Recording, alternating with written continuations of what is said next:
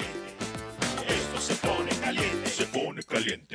Mientras envejecemos, la función hormonal de nuestro cuerpo va disminuyendo paulatinamente. Rejuve es una manera mínimamente invasiva e indoloro para repetir ese proceso y restaurar la energía, satisfacción sexual y bienestar. Chip usa hormonas bioidénticas para producir una variedad de beneficios para la salud que pueden disfrutar ambos hombres y mujeres. El programa de anti-envejecimiento Chip también ofrece vitaminas endovenosas y varios procedimientos estéticos. Recupera y mantén tu salud con Chip hoy.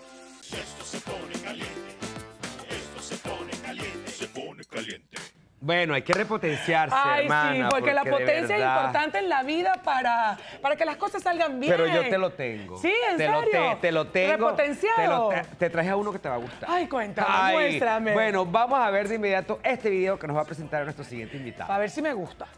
Señoras y señores, estoy súper contento, estoy más feliz de lo normal y ustedes son parte de ello. Quería informarte que tu canción, mi canción, Zúmbate, está de número uno en el chart general de Monitor Latino.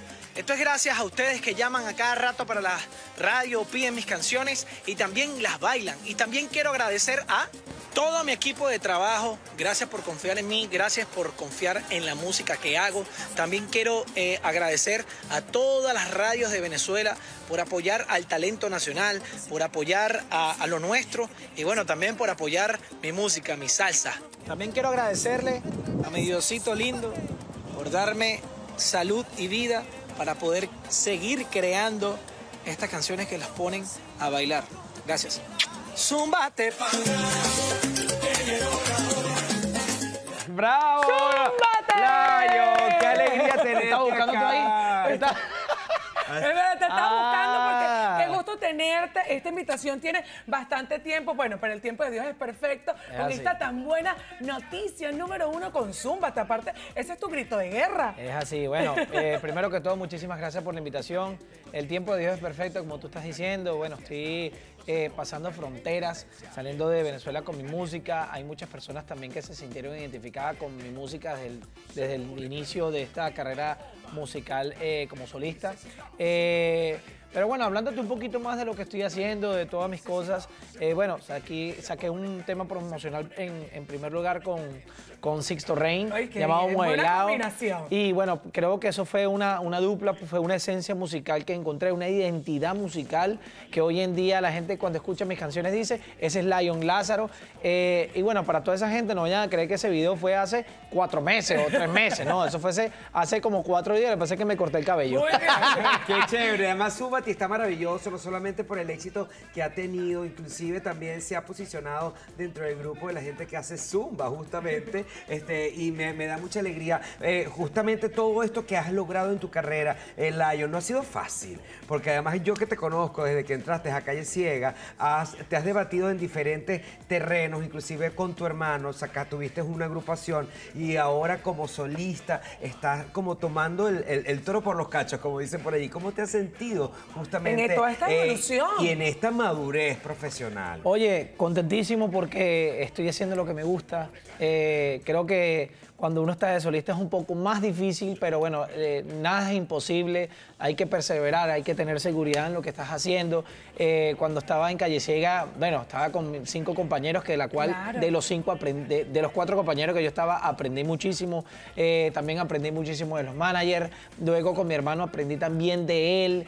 Y yo dije, oye, yo necesito hoy en día aplicar todos esos conocimientos que aprendí con, Claro. con- en, en el pasado en el presente y creo que ha sido muy evolutivo mi, mi- mi- mi- mi música y como Y artista también y nunca como la has artista. dejado. nunca nunca porque yo no puedo dejar yo no puedo permitir que alguien me diga que yo no lo voy a lograr. Todo el mundo podemos lograr nuestros sueños. Existe el fracaso sí existe el fracaso pero eso es parte de la vida eso es parte de la enseñanza del día a día. Entonces creo que eh, tenemos que nosotros tener mente de, de superar de ir hacia adelante de que la gente escuche eh, mi trabajo de que la gente eh, eh, escuche también su trabajo porque Es todo, así. todo el mundo pasa por problemas pero pienso que que hoy en día eh, eh, eh, estoy un poco más, más maduro musicalmente. Creo que la, la- la- esencia de ir aprendiendo, soy todavía alumno, siempre seré alumno porque día a día estoy aprendiendo. De hecho, a- eh, leí un libro de Sergio George, que es el, pro- el productor de, de Marc Anthony, y ese libro me hizo aprender mucho más. dio claridad. Y creo que me dio mucha más claridad. Veo la, la- la- la música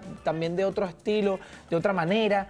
Eh, y nada, lo, lo importante en el mundo musical y a todos los jóvenes que están saliendo hoy en día es tener la identidad musical. ¿Y que cómo la gente cuando escucha... ¿Cómo la buscaste? Porque a veces es difícil Mi eso. vida, yo esperé, te lo juro, como 10 años más o menos para tener En una identidad búsqueda. musical, porque, o sea, yo cantaba mis canciones, pero decían, oye, me encanta, pero se parece a...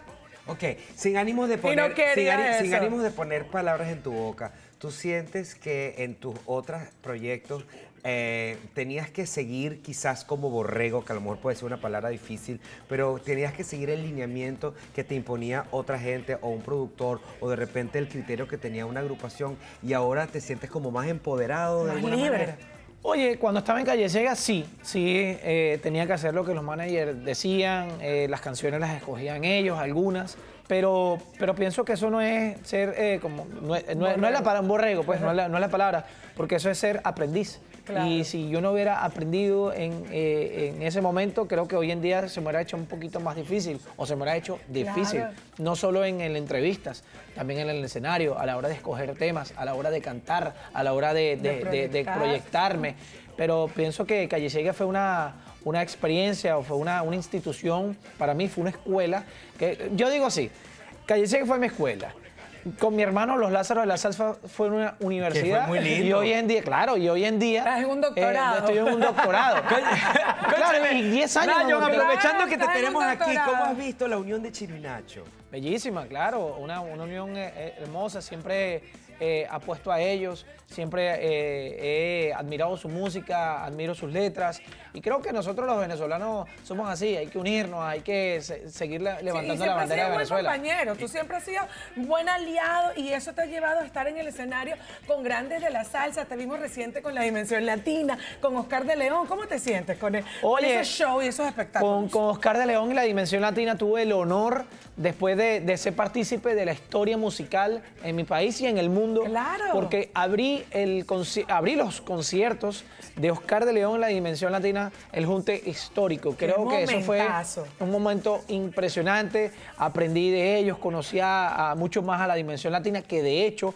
eh, tuve una colaboración en una canción llamada Pa' mi gente con César Mojen, que es Albóndiga, eh, el, el productor de todas las canciones de, de- de Dimensión Latina. Y eso es un sueño hecho realidad. Claro, y además es una- un gran padrinazgo. Nos queda poco para, para terminar. Tranquilo. Pero lo que quiero es que la gente sepa, estamos muy felices por ti, te queríamos tener por el éxito que Y has hay tenido. concierto el Súmate, 20 de y junio. que nos digas, por favor, cómo te preparas para el rumbón de Caracas, a toda nuestra gente que nos ve en Venezuela. Y también que nos enteramos de que vas a estar con Aventura. Llévame, Sueño hecho realidad para mucha gente. Por Bueno, favor, eh, para terminar. Así mismo voy a terminar. ¿Quieres ver? Mira.